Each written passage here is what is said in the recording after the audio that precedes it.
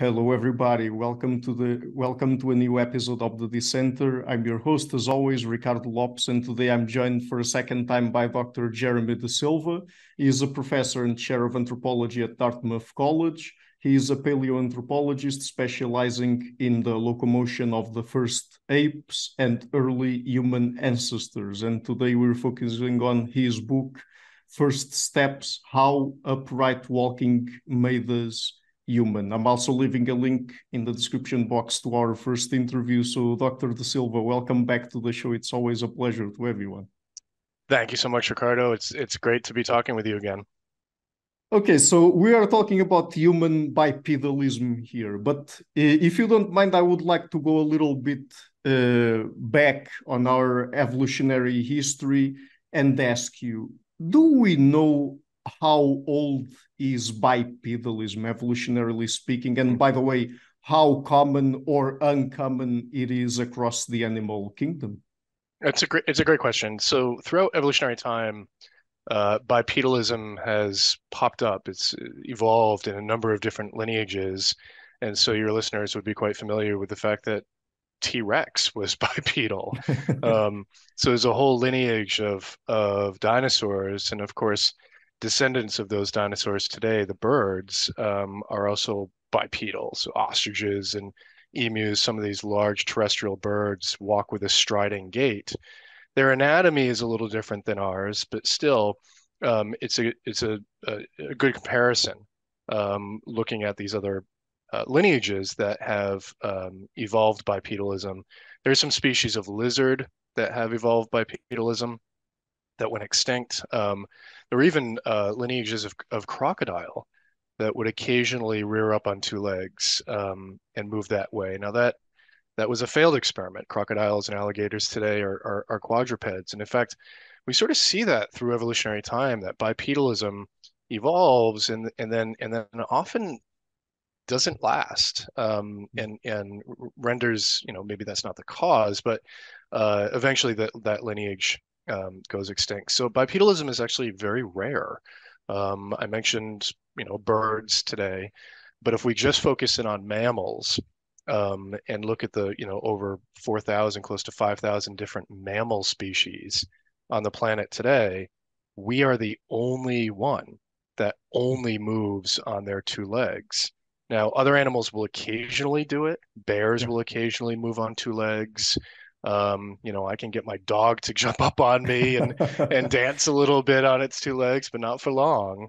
Um, you know, you'll see meerkats and and uh, you know groundhogs occasionally get up on their two legs to peer into the you know distance for vigilance. Um, mm-hmm. But again, that's a that's a postural thing. It's quite unusual to see a mammal walk on two legs. Um, and in fact, when it happens, occasionally there'll be a zoo gorilla that moves on two legs, uh, and people film it and mm-hmm. put it on YouTube, and it gets millions of hits. It makes the news, and yeah. it's something that we just do every day. We very much take take for granted. So I love that question because it's exactly why I'm fascinated by the origins and evolution of bipedalism mm-hmm. is because it checks these two boxes for me in that it's very unusual. And so it kind of demands an explanation. Um, why did bipedalism evolve? How did it evolve in our lineage when it's so rare in other mammals? And then it's also ancient. Um, mm-hmm. It's it's one of the first adaptations, if not the first adaptation that we see uh, evidence for uh, in the human lineage, and so it sort of jumpstarts our lineage. It gets us uh, it gets us going, if you will. Yeah, and it's very interesting because at a certain point you mentioned there bipedal posture because that's different from bipedal locomotion, right? Because bipedal posture is something, as you said, that some animals that are not really bipedal occasionally use in certain circumstances. And I would imagine that, for example, people would also look, you mentioned the gorilla there, but they would also look into chimpanzees, for example, who are very close to us evolutionarily speaking. Mm-hmm. And even when they occasionally stand upright, uh, I mean, they don't move exactly the same way as we do. Right. They don't. You're you're absolutely right. And and as you said, uh, bipedal posture is not terribly rare. Um, lots of mammals will do it. Um, and so there is a big difference between standing on your two legs and then actually navigating on two legs. Moving on two legs is a difficult thing to do. Mm-hmm. Every time you take a step, you're then on one leg, which means you're incredibly imbalanced. Um, and humans have evolved all sorts of compensatory mechanisms at the ankle and the knee and the hip to make sure that we can stand on a single leg and not just fall over. Um, when other mammals do move on two legs, like the chimpanzee that you just mentioned, they can only do it for a couple of strides before they get absolutely exhausted and have to drop down on all fours again. And so they do it in particular circumstances if they're um, doing a territorial display. Sometimes they'll get up on two legs and go crashing through the bushes. Um, there's a lot of postural bipedalism in chimpanzees, and that gives us perhaps some insight into some of the precursors to bipedal locomotion. You know, it has to start somewhere. And so postural bipedalism uh, might be a good place to examine for, um, you know, what were the circumstances under which this uprightness was advantageous for our ancestors, uh, who then, with that as the foundation, could begin to take those those first steps and and actually locomote and navigate from point A to point B on two legs rather than on all fours. But with chimpanzees, I'm glad you brought that up, is their posture is is a crouched one. So they they have a bent knee and a bent hip, and so, for your listeners, um, a really good exercise is to walk around like a chimpanzee. Um, it's exhausting. You'll work your quads, uh, all the muscles around the hip joints um, are, are uh, getting exhausted when you do this kind of uh, a chimpanzee like like walking. Um, so they can't do it for long. Um, humans, on the other on the other hand, we have fully extended legs. And so we're not in a crouched position. So that extended knee, extended hip, the curve of the lower back, centering our body over our hips, over our knees, that allows us to walk and walk and walk and walk and walk. And we're incredibly energetically efficient uh, at moving on, on two legs. And so I would like to ask you now about what we know about the evolution of human bipedalism. But perhaps just before we get into human bipedalism itself, I would like to ask you do we have a good idea about why actual bipedal locomotion seems to be so rare across the mm-hmm. animal kingdom. I mean, mm-hmm. does it have, for example, anything to do with the sorts of anatomical changes that have to occur? And for them to occur, perhaps uh, animals have to be put through certain very specific evolutionary pressures for it mm-hmm. to then be transmitted as a trait across generations and to be maintained in a particular species? Does it have anything to do with it? You know, it's a it's a great question, and it's one that I've puzzled over, um, and I'm not sure I have a good answer for it. Um, if we look specifically at humans, there are, you know, we we celebrate our upright walking, um, but there are real disadvantages to it. So mm-hmm. because we move on two legs, um, we are stunningly slow compared to other uh, mammals. So the fastest human who's ever lived, Usain Bolt, um, the fastest he ever ran in his in his world record-setting 100 meter dash was about 28 miles an hour. Yeah. Um, he peaked out at, at 28, which is which is fast, but it's half the speed of a a, a full sprint galloping leopard or lion or zebra or antelope.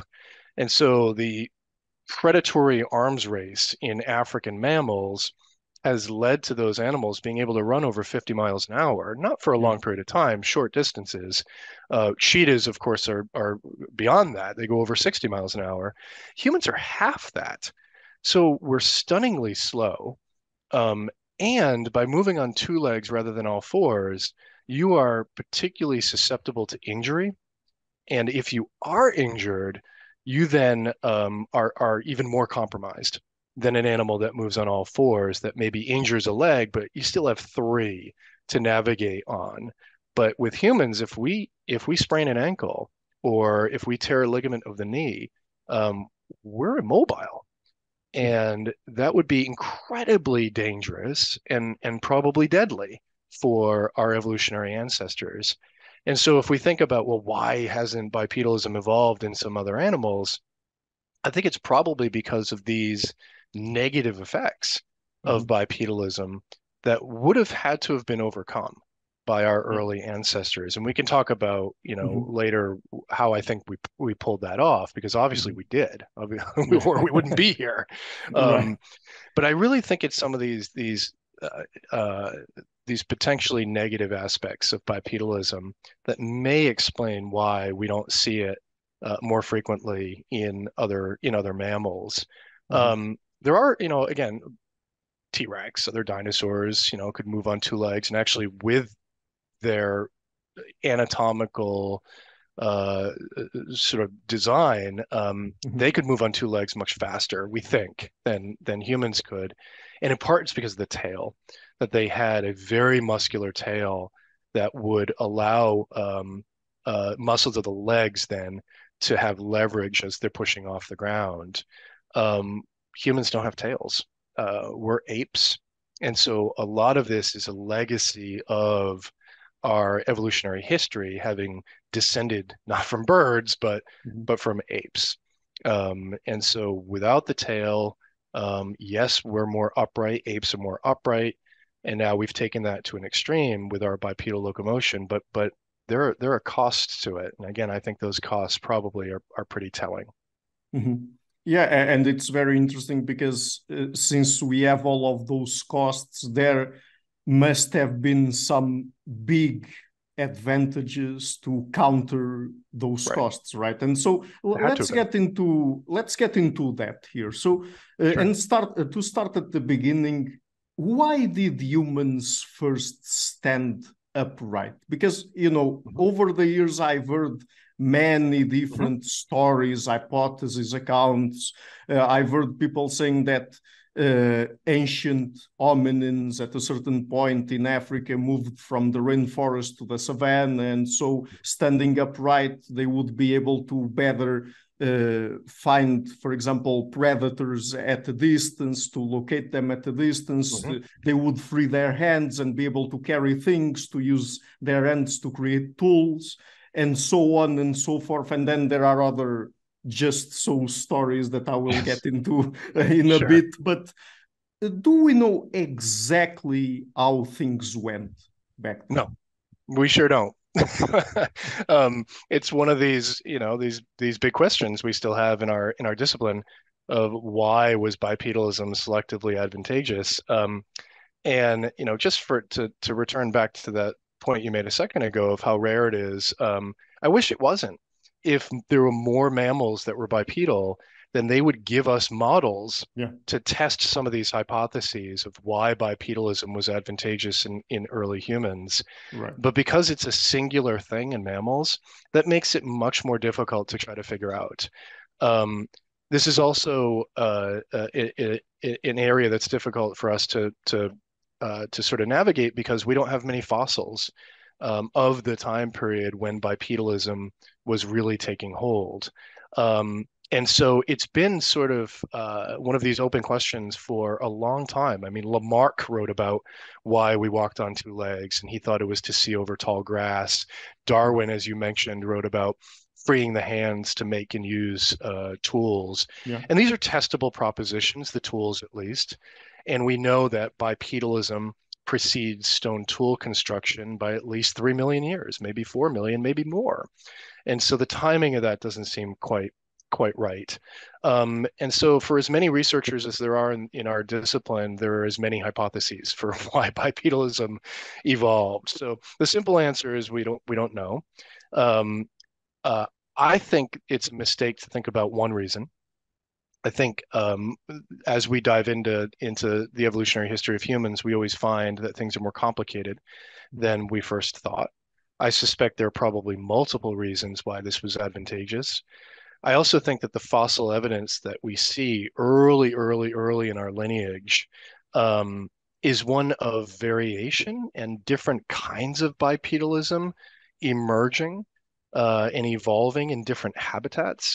And so I'm of the thought right now um, given the fossils we have, and again, there aren't many, but given what we do have, I'm of the thought that bipedalism may be evolved multiple times in different habitats, perhaps even for different reasons. And some of those reasons might include energetics. Um, moving on two legs with an extended leg is a very energetically e efficient way to move. And so if there are limited resources and getting from point A to point B, uh, some individuals can move on their two legs on an extended knee at least, uh, an extended hip uh, they won't use as much energy and they may be able to survive uh, periods of, of you know low food availability. Um, I, I, also think that because it compromises us in terms of locomotion, um, it makes us slow, it makes us uh, susceptible to injury. Um, I like hypotheses that sort of take you away from locomotion and say, well, what else could it be good for? And the freeing of the hands um, is is you know s- such a, an obvious thing that bipedalism allows us to do. And in this way i think we can look to the other bipedal animals out there the birds by moving on their two legs they've freed their arms for for wings right? And they have taken it in this new direction of being able to yes locomote but in a different way.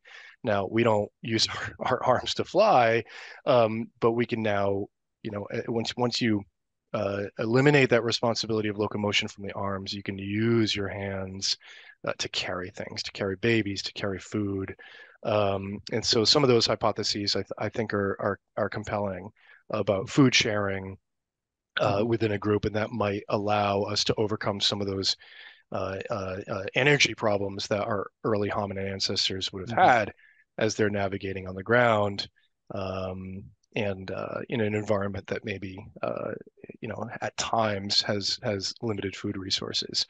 So ultimately, the the, the answer is we don't know. Um, it's one of the great questions in our science, one of the great unanswered questions. Hopefully, you know future generations will have more evidence and we'll we'll look at this in in in other clever ways that we haven't thought of uh, to try to get at this get at this question but the last thing that i'll mention on this and maybe this will lead us into the next sort of question next mm-hmm. discussion mm-hmm. yeah. is that a lot of our work in this arena of thinking about the origins of bipedalism we always think of us evolving from a knuckle walker from something like a chimpanzee Mm-hmm. And there are many studies that have looked at, well, what are the circumstances under which chimpanzees move on two legs, and then use that to uh, uh, to interrogate some of these ideas about why early humans moved on two legs. And and I and I think that's worthwhile. I definitely think that those are those are worthy uh, questions to be asked.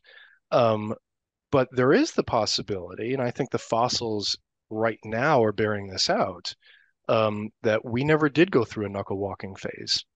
That the last common ancestor of humans and chimpanzees and gorillas may have been something that was already more upright, upright in the trees, not upright on the ground.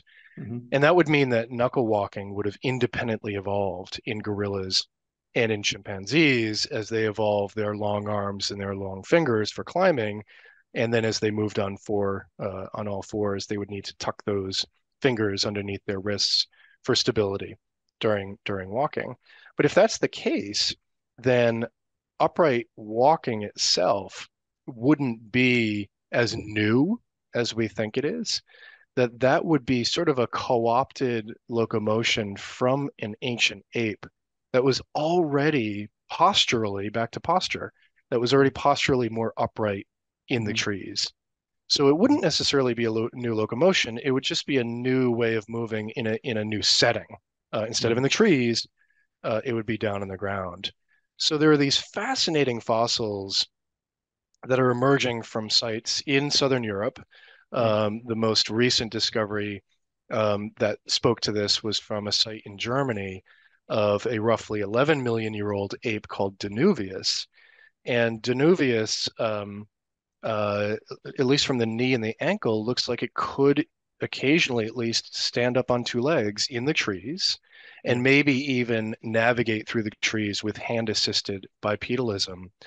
Um, and the last uh, point I'll make with this is that um, in some ways that that that mirrors what we see in the Asian apes. So orangutans and gibbons are upright a lot um, and will navigate in the trees in a very upright kind of way. And so they may be better models for thinking about um, early hominin locomotion uh, than than the African apes are, even though the African apes are our closest living relatives, because they've evolved too. And thinking of them as time machines and what our ancestors may have looked like might might, might be a mistake. Mm-hmm.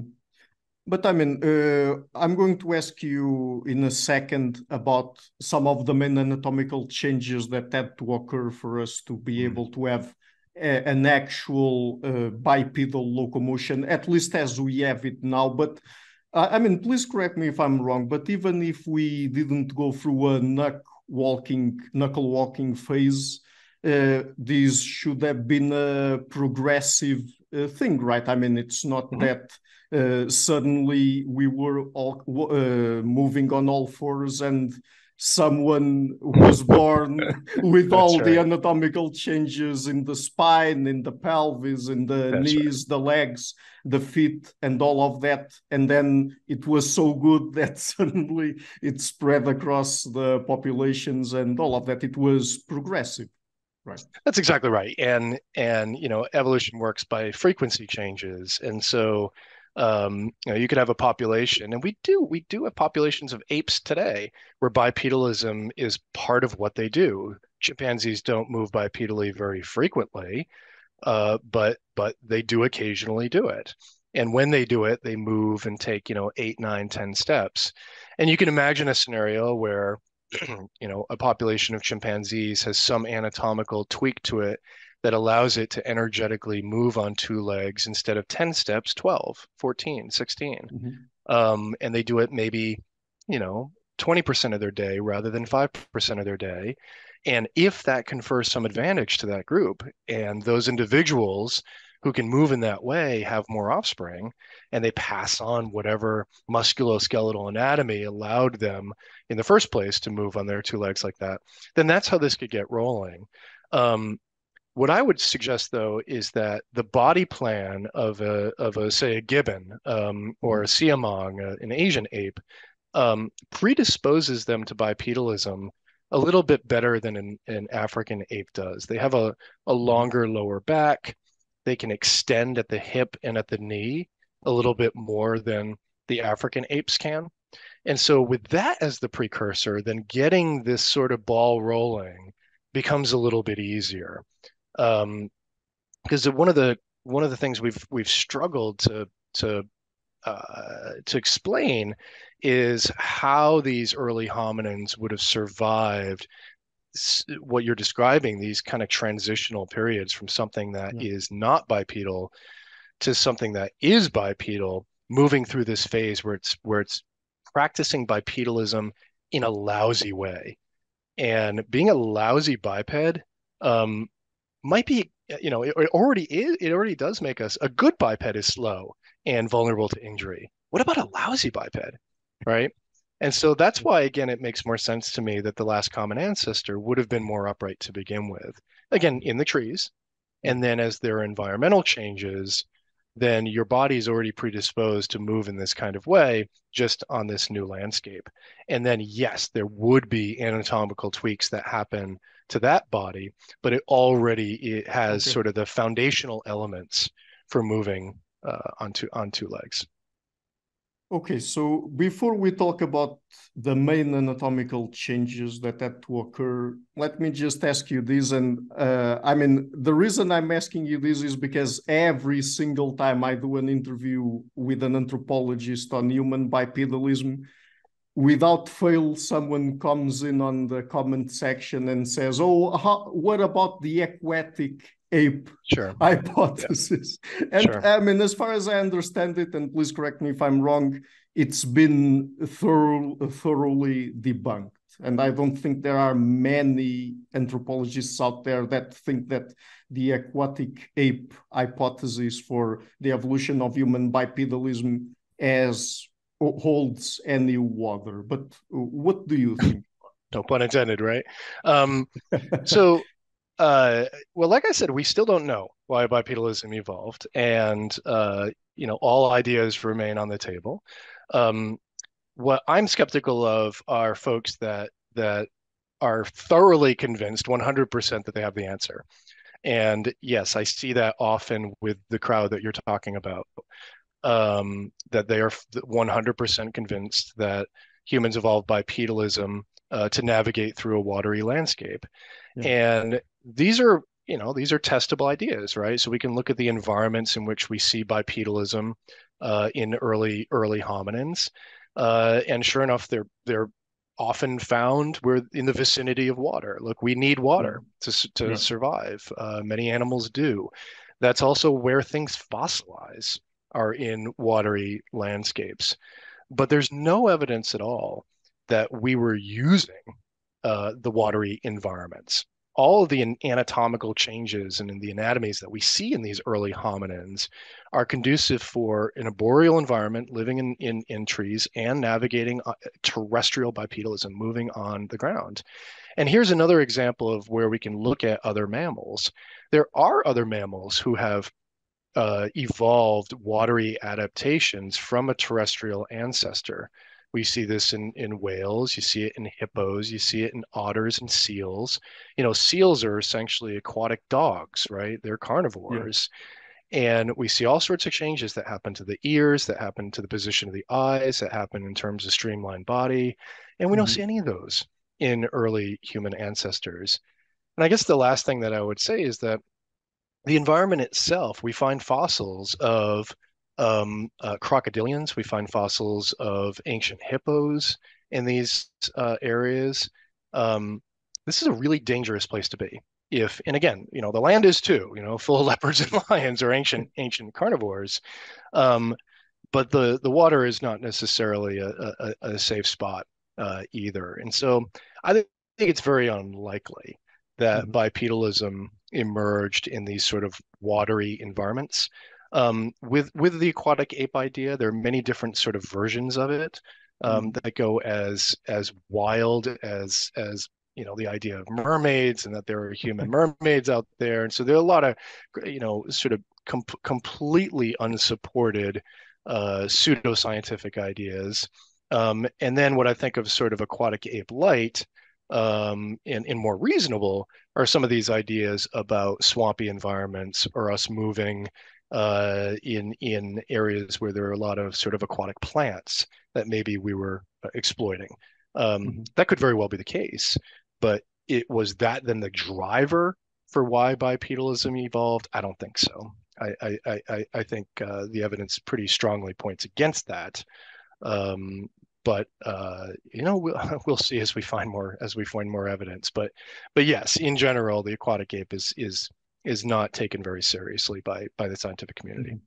Yes, and I mean just to be clear, I was making a bit of fun of this idea, this hypothesis, but, yeah. but perhaps what I was making more fun of was the attitude of people that sort of thinking in absolute terms of oh it's this is 100% correct all the other hypotheses are 100% incorrect and that's the truth about it and that's it basically. Yeah, I, I, you know, it's funny. There, there are dozens and dozens of hypotheses for why bipedalism evolved. Um, this is the only one that seems to have a fan club, um, which is is just bizarre to me. I don't quite understand it. Um, and uh, you know, I mean, there, okay, another testable. So uh, Herman Pontzer, who's at Duke University, recently published a paper um, that looked at uh, human use of water um, and how uh, you know based on the physiology of how we use water um, humans evolved in areas where there was not much water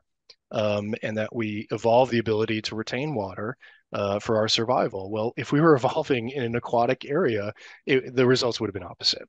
Um, so again these are sort of these are testable ideas um, and that doesn't mean that we didn't use watery landscapes. I mean there's really good evidence of us acquiring, you know, fish and mussels and aquatic animals, you know, at a site that's two million years old. Um, but as we go back in time and look at, you know, early hominins, where were they living six million years ago?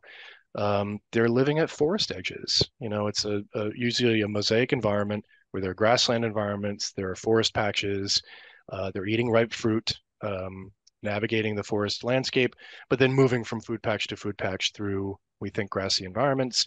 Was there water nearby? Of course there was. You know, we're talking about mosaic environments, but were they spending all their time there? There's no evidence for that. Mm-hmm.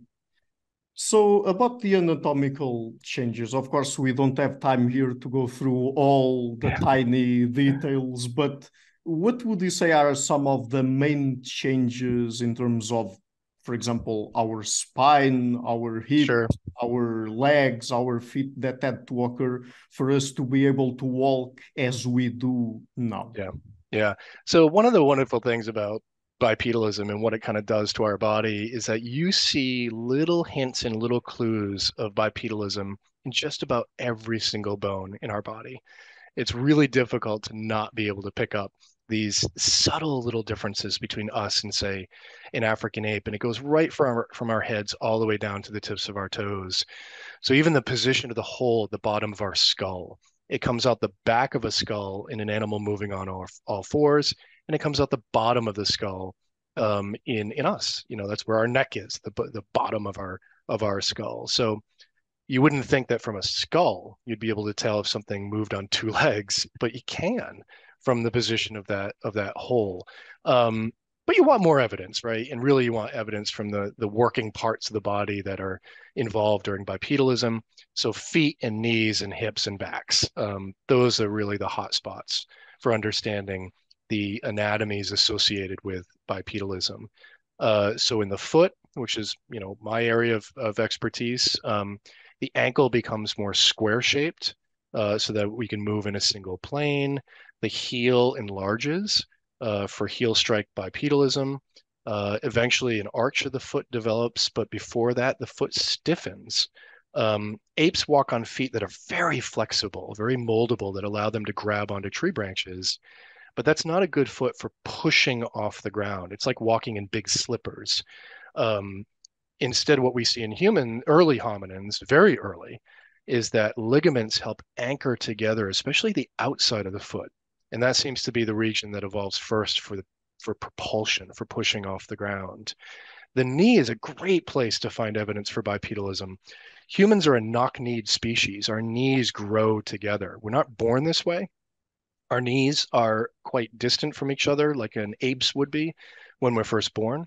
But the act of walking uh, changes the the forces on the growth plate of the knee, and it causes the knee to angle inwards. And this is called a bicondylar angle. And because it happens developmentally, it means if you find a fossil and it has that angulated knee, then that individual had to have walked on two legs because that's the only way you get that kind of anatomy. So it's not something you're born with. It tells you about the life of that individual.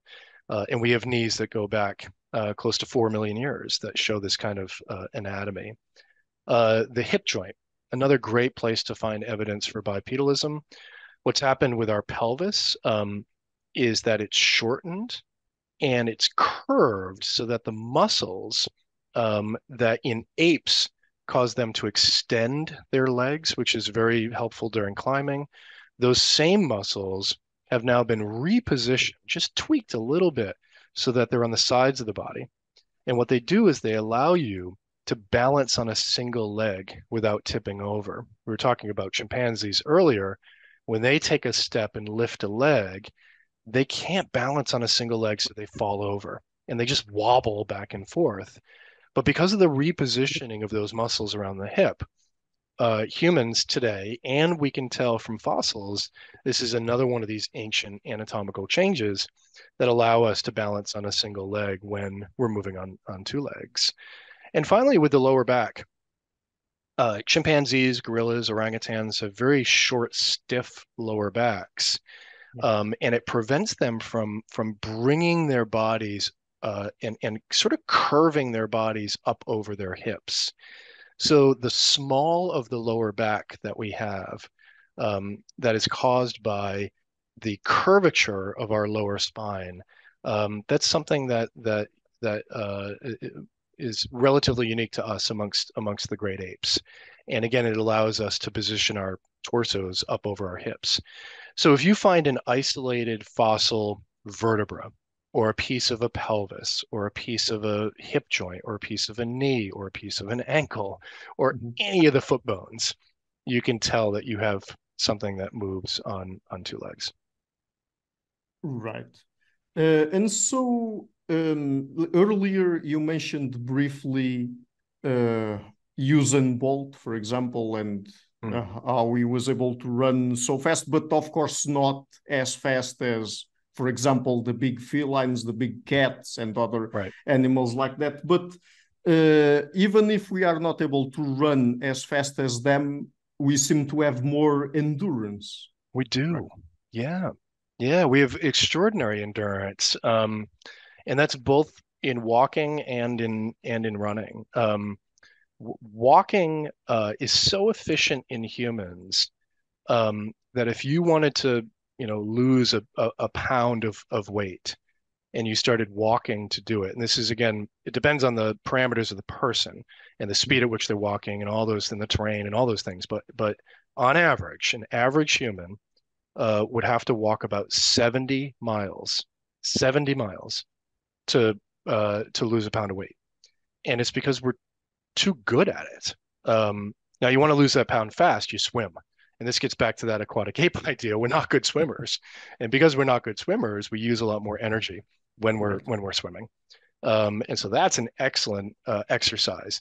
Now, it doesn't mean walking's not good for you. You know, I have a family member that has used that information to say, "Well, I don't need to walk then. You know, I can just sit on my couch all day." And I said, "No, no, no, no, no, no, no, no. Walking, walking is really good for you in all sorts of other physiological ways.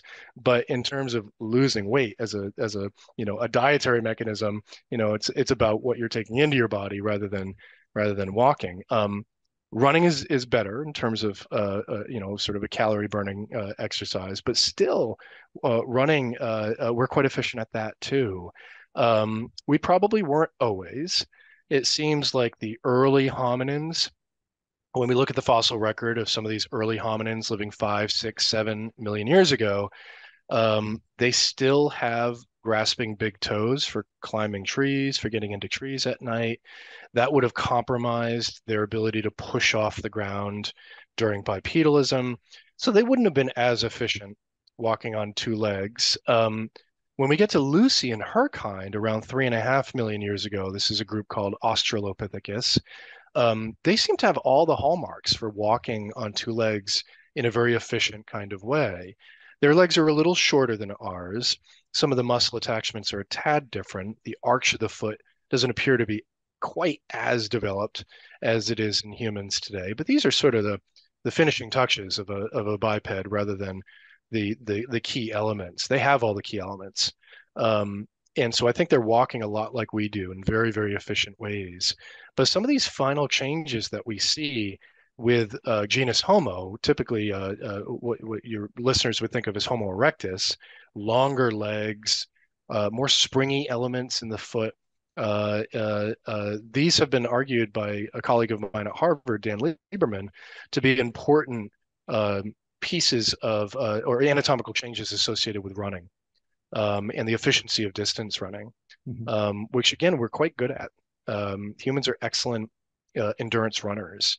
Um, even if you know individuals listening if uh, you know you may say well you know I, well i hate running you know and, and so you personally may not uh, enjoy it or or think you're good at it but as a species um, we're actually really really good at it. Um, and think you know tens of thousands of people probably hundreds of thousands of people every year like willingly line up to run 26 miles.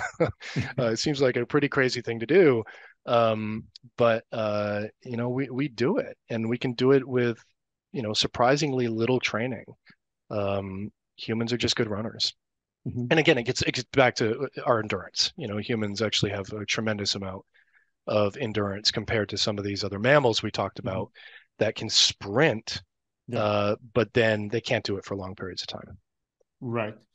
And does our endurance have anything to do, or is it connected in any way to our ability to sweat? Oh, I think so. Yeah, yeah, yeah. I, I, I think that's spot on. Um, and you know, there's a there's this wonderful sort of um, uh, uh, combination of variables that's allowing our ancestors to survive and thrive um, in a hot equatorial African environment, you know, three and a half, two and a half million years ago with Australopithecus to genus homo. Exactly um, when that transition happened is unclear. Some of the anatomies I'll talk about next, when they changed, is is is unclear. But I think they're all interrelated. Um, that uh, you know, Australopithecus uh, began to spend more and more and more of its time of its day on the ground, uh, navigating its environment for food. Um, we can tell from the isotopes of the teeth of Australopithecus that they start eating everything. Um, they're not picky eaters anymore like apes are. Apes are very picky eaters, ripe fruit. Uh, yes, they'll occasionally eat meat. Uh, they'll supplement it with leaves here and there. Um, but humans today, um, as a species, we've eaten everything, right? If it if it has DNA in it, we've tried it. and so it's an interesting sort of question of well, when did that happen? When did this sort of dietary breath evolve? And it seems to take hold in Australopithecus. And I think it's because you can't afford to be a picky eater if you're living on a landscape full of predators and you're moving in a way that makes you slow and vulnerable, right? You have to you, you start eating everything. And and I suspect that that they did. Um, but foraging for food in the early morning hours or the the you know the the the dusk hours, right? Dawn and dusk, and certainly not at night. Those would be extremely dangerous times to navigate uh, your environment for food.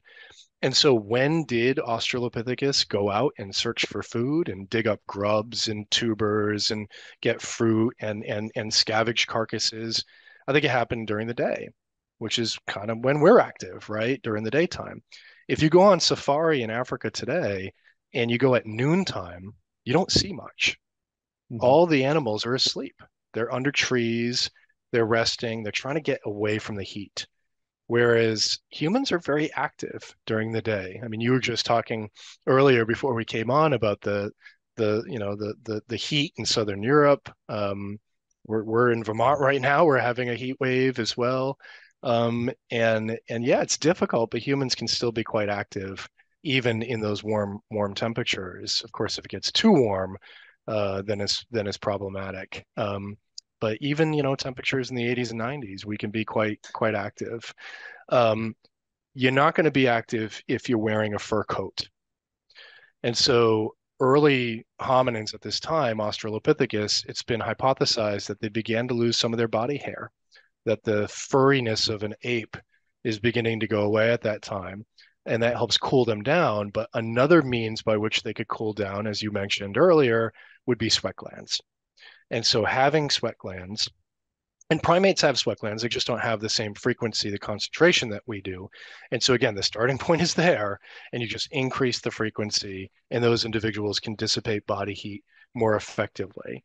Um, moving bipedally with sweat glands in this kind of environment um, allows you to cool off faster. Less of your body is exposed to the sun. This is a, a, what's called the thermoregulation hypothesis developed by Peter Wheeler and Leslie Aiello. So they tied this into uh, uh, this again form of locomotion of, of bipedalism. So I think I think diet and body hair and sweat glands and and energetic bipedal locomotion in this kind of environment, it's all tied together. And I think these things are co-evolving um, in Australopithecus as we start to get the transition into Homo. Mm-hmm. So, throughout our conversation, we've been alluding here and there to some of the benefits and costs we got from our bipedalism, and perhaps also to illustrate some of that and to give the audience a better idea of how to think about costs and benefits here. Uh, how did bipedalism set the stage for the evolution of, of some of our other traits? Like, for example, let's start with the example of human birth. So, what mm, were some yeah. of the costs that it brought to the table there? Uh, it's a it's a great question. Um, so, uh, when we compare our our birth process and the mechanism of birth in humans to our closest living ape relatives, um, it's quite a dramatic difference. Um, when apes, uh, they usually have a gestation of, of eight or even nine months. Um, so it's a long time, uh, like it is in, in us. Um, and the baby is typically facing down, uh, like it does in humans. Um, but then labor in a chimpanzee usually lasts only about 40 minutes, which is pretty unheard of in humans. And the baby is born uh, facing up. Um, and so what, what a person today would think of as a sunny side up birth um, which is um, often it can lead to complications in, in humans that that facing up kind of birth. So the best birth outcomes happen in humans when there's rotation, and so the baby corkscrews through the birth canal.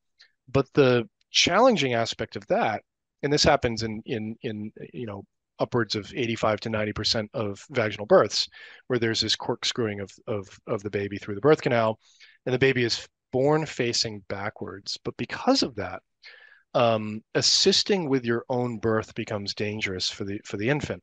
Chimpanzees don't have birth assistants, but humans do. This is a cross-cultural universal. No matter where you go on Earth, humans and typically it's experienced women, midwives, uh, doulas will will assist with the delivery of the baby. And mechanistically, this is important because if they didn't, and the mother was delivering her own baby, she could exert a um, uh, a torque or pressure uh, uh, or twisting force, if you will, on the neck of the infant, and that can cause damage to the baby uh, when during delivery. So this rotational birth, then, you know, something very mechanistic, um, leads to the necessity of having helpers during delivery. So making it a social event. Um, now, to tie that into bipedalism, um, there are some key changes. I mentioned already the curving of the hip joint to sort of the the you know so that the muscle attachments are on the side of the body and the shortening of the pelvis. Well, all of these changes that affect how you walk on two legs, that affect bipedalism, have also changed the shape of the birth canal compared mm-hmm. to our distant ancestors. And if you take Lucy, the very famous Australopithecus Lucy, uh, she was discovered with a beautifully preserved pelvis. And if you try to birth a chimpanzee baby through that pelvis, you can't unless it rotates through like a human. And so, just based on sort of the mechanics of birth, I think that Australopithecus during Lucy's time was already engaged in this sort of um, social behavior of midwifery during childbirth, that it would have increased the the likelihood of successful birth. Um, the birth would have been difficult at that time. Uh, labor would have been longer, um, and it would have been uh, uh, dangerous enough that having helpers there uh, would have been would have been beneficial. And so there's this, I think, this really elegant and beautiful connection between the way we walk between bipedalism and the way we interact with each other uh, with with sociality. And birth is a great example of that. Another example of it uh, would be the the number of fossils that we have found that have evidence of healed fractures um, so there's a um, a skeleton of Lucy's species. Uh, it's from an individual known as Kadanuumuu, Kadanuumuu means big guy in the local language. He lived about three and a half million years ago in what's today Ethiopia. And his uh, he was discovered by Yohannes Haile Selassie. Uh, and this would have happened about uh, 15 years ago. Uh, the discovery was was first made. Beautiful, beautiful skeleton. Um, but when the researchers closely examined the shin bone, they found evidence that um, uh, he had probably as a child he had broken his shin bone. He had broken his tibia um, but then it healed and he grew to be an adult. And mm-hmm. so imagine this situation. Three and a half million years ago you're on a landscape full of predators. There are no doctors there are no hospitals and this poor individual maybe was running or or you know stepped in a hole or fell out of a tree. We don't know what happened. Something happened that led to a broken shin bone. Yeah. this would you know for a person today you'd have to get a cast. Uh, you'd be on crutches. You'd probably be in a wheelchair for some time. Um, navigating the world would be very difficult. Right. um, Now imagine that person, you know, on a savanna environment three and a half million years ago. Um, this individual shouldn't have survived, mm-hmm. but but they did. They healed. They survived long enough to grow and to be an adult. And to me, that is clear-cut evidence that other members of the group were helping. That that uh, empathy and compassion um, and care for others is is deeply rooted in who we are and i see it as intimately connected with this vulnerable form of locomotion that i don't think could have evolved um, unless we were taking care of each other i think those two mm-hmm. things have to be connected um, otherwise it's a it's a you know very difficult thing to explain uh, the fossils that we have that that show evidence of these healed fractures not fractures that cause death healed fractures, um, and there are many of them. Mm-hmm. And by the way, I mentioned human birth because actually, if I understand it correctly, the changes bipedalism brought had a major impact not only in how women gave birth to children, but also uh, were connected to things like infant mortality, maternal mortality, and even the way we parent our kids and the the sort of phases of development we go through compared to other great apes for example in terms of infancy childhood adolescence and the periods i mean the number of years associated with each of those phases. Sure yeah. It's um you know what what we can tell from from the few fossils that we have of infants and, and children. These are very rare fossils. The bones of infants and children don't fossilize as easily as the bones of adults, because adult bones are more mineralized to, to, to begin with uh, and denser, just denser. Um, but there are some extraordinary skeletons that we have, um, uh, including one again from Lucy's species. It's known as the Dikika child. Um, and the Dikika, Dikika child was about two and a half years old um, when when she died and that species didn't have very large brains at all. Their brains were uh, only slightly larger than a chimpanzee's. Brains were about the size of gorilla brains, but in bodies that were more chimpanzee sized. So the so slightly encephalized.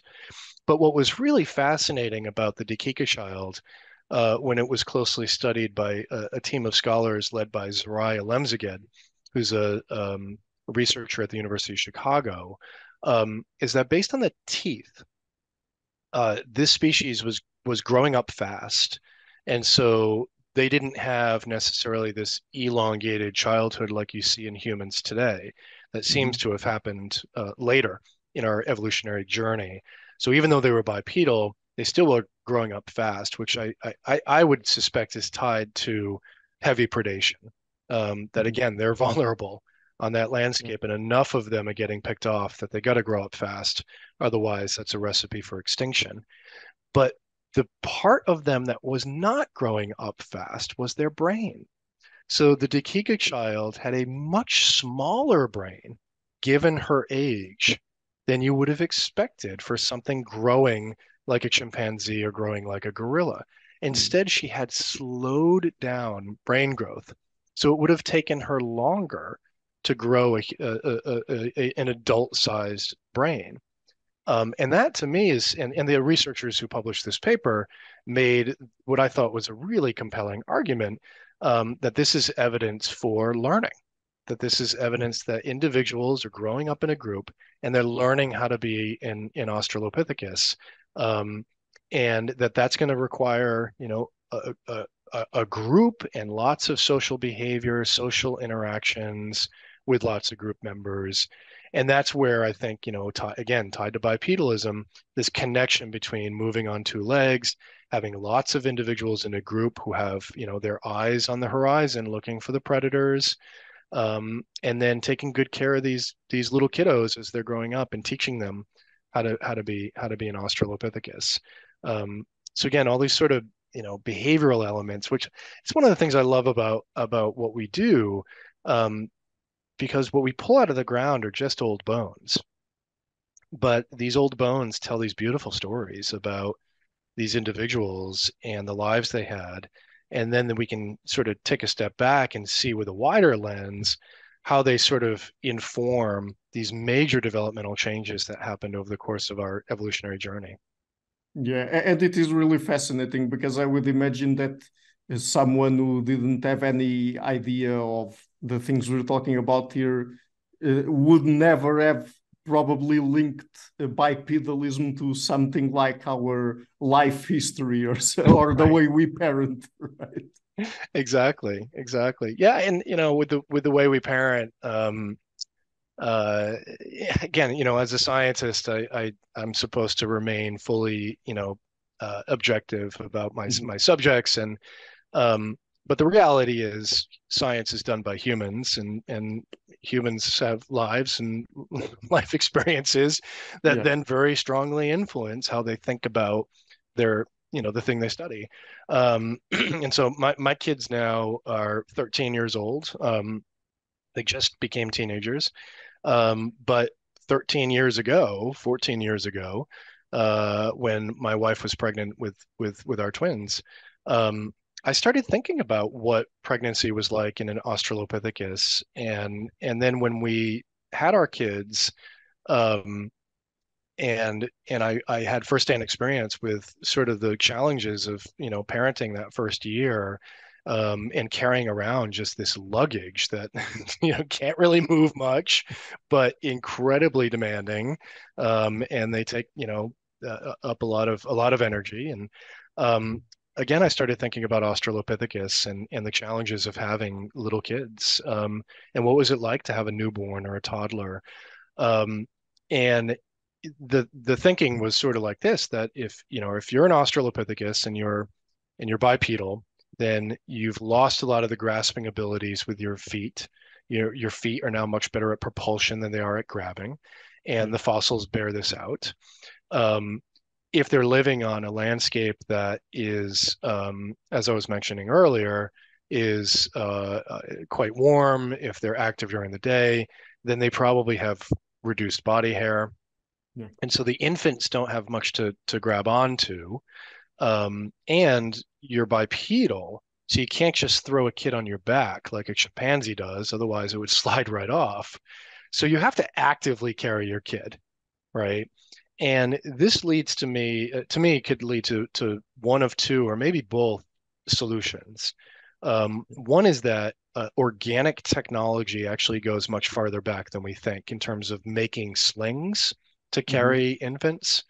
Um, we have stone tools from around 3.3 million years. So hominids are beginning to manipulate tools in their environment to make a, a an object that they can use to acquire resources.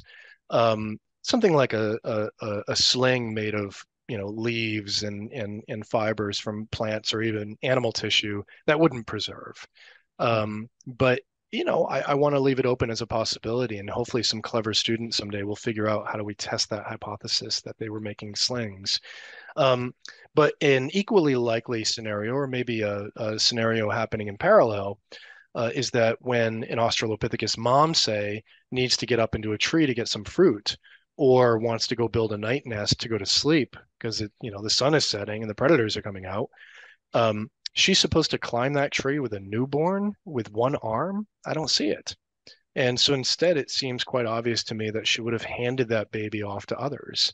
Um, now, in human society, it's that's very obvious that you would have helpers, that you would have, you know, a neighbor or an auntie or cousin or somebody, another sibling or, or you know, one of the other parents that you would hand the kid off to. Mm-hmm. Um, but this is unheard of in chimpanzee world, and so apes don't uh, uh, what we call alloparent. There aren't uh, uh other individuals in the group mm-hmm. that help with the infants the way you see in humans. And so, um, again, once again, I think bipedalism creates this scenario mm-hmm. by which this behavior that we all take for granted of us sort of ogling babies and helping out um, is something that that that co-evolves uh, mm-hmm. with this unusual form of, of, of locomotion. Um, so it's it's connect yeah uh, you know it's connected to all these these things we sort of celebrate as as as you know human attributes right so just one last question then and perhaps this is again mostly focused on the costs and not so much the benefits mm. but uh, when it comes to our bipedalism, and since nowadays in many societies across the globe we live in modern industrialized or post-industrial societies where we are very sedentary. I mean, particularly in mm. service economies, we spend most of our days sitting on a chair, eight hours, eight plus hours a day in an office. I mean, what kind of implications does our being bipedal have for our health, uh, in our later stages of life. And I mean, this is not to say sure. that, of course, in traditional societies, people also suffer from that in other different ways, particularly perhaps sometimes they uh, uh, overuse or misuse their bodies in different ways, not so much underuse their bodies uh, as we do, but uh, mm-hmm. particularly in our industrial or industrialized or post-industrial societies, what kind of implications does it have? That's a great question. I mean, there there are many different ways to be a human and to go through this world, right? um, yeah. And so I, I, I like the caveats to the question. Um, but the way I think about it as a you know an evolutionary biologist is that um, our lineage has been walking for at least six million years. It, it's you know you know we've we we are a mobile species and we have been or mobile lineage and we have been for a very long time and right now, we are in a situation that for the first time in the history of our lineage, um, we're not walking anymore. Um, and so we've gone from a walking species to a species that, you know, takes the bus or drives the drives a car instead of instead of walking or takes the elevator instead of going up the stairs. Um, and yes, there there are absolutely quantifiable impacts um, on our physiology. Um, so when I was an undergrad in college, I studied physiology, and um, uh, what I did not learn about because it was discovered more recently um, were things called myokines. Myokines are um, uh, proteins that are released by um, your muscles when they contract. Uh, when they're active. And so your muscles are an endocrine organ, which is such a cool thing to think about. Um, you know, we have all these endocrine organs in our bodies that secrete uh, uh, molecules that serve as you know almost communication devices of what's going on in your body. Um, your muscles do too. And so when you're active when you're moving your body when you're walking it happens when you're walking um, myokines are released into into your body. And there have been over a hundred different kinds of myokines that have been identified. There are probably many many many more yet to be identified. And these target tissues all over your body. They go to your brain and there are some that have been shown to affect memory because they will will bind with cells in in the hippocampus of the brain. Uh, and so the hippocampus, for instance, can actually get a little bigger in individuals that start walking more frequently. Uh, typically, these studies are done on older individuals. Um, there are myokines that go to, again, all different tissues of your body that can reduce inflammation response. Um, and so a lot of the sort of, like you said, industrial and post-industrial societies that have diseases that are associated with um, chronic inflammation mm-hmm. um, can be reduced with just a daily walk.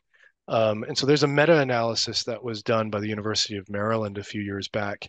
Um, and it showed that just a 20 minute walk a day, 20 minutes a day, um, can uh, uh, increase lifespan by about five years and i mean if that's not a magic pill i don't know i don't know what is people you know crave a magic pill for their health and a 20 minute walk um, well, by, now, by the way that, that thing that we sometimes hear about the 10,000 or 20,000 mm. steps is that supported by the evidence or no, there's nothing magic about 10,000. Um, and different individuals are going to have sort of different amounts that they might want to aim for. Um, mm-hmm. I talked to a researcher um, who is uh, um, who studies this, uh, and she's based at Harvard. And essentially, her answer to my question was, "What's you know what's so special about ten thousand? She said nothing. Um, and what she recommends to people is just uh, do a, a, little bit more today than you did yesterday, mm-hmm. um, and try to increase um, uh, you know, the amount you're taking. And so, you know, if you if you're, you know, consistently taking 5,000 steps a day, if that's being tracked on your phone or something like that, you know, try to take 6,000, try to take 7,000. Um, if you're consistently taking 9,000, well, yeah, aim for the aim for the 10. Um, you know, in uh, uh, hunter-gatherer groups, uh, the Hadza, if you want to aim for that, um, that's usually 15 to 16,000 a day. Uh, is is is you know is that kind of threshold. Um, and so yeah, again, there's no magic number, and that changes as you age, and it changes depending on how uh, you know what what your your your health is anyway at that particular moment. But you know, it's what I do. I try to get 10,000, you know, and, and it's, again, it's arbitrary. Could be 9,996, right? Suddenly you get the 10 and, and the, and everything turns green as if, you know, you've crossed some magic thresholds, but um, that's, that's not the case. Yeah, maybe it would help if we had some motivation, like, for example, having to steal the meat of some lions to it. right? Yeah, no kidding. Uh, right. If your survival depends on it, yes, you will you will walk just fine. Yeah. okay, so Dr. DeSilva, uh, again, the book is First Steps How Upright Walking Made Us Human. I'm leaving a link to it in the description box of this interview. And apart from the book, would you like to tell people where they can find you and your work on the internet? Sure. So uh, you can uh, look at my website, which I try to uh, update regularly uh, at Dartmouth Dartmouth College. Um, I, I, was on social media for some time, but I've dropped off social media. I, I, I found it to not be useful for me, um, especially since I'm now working on another book. Uh, and I need to not have those distractions.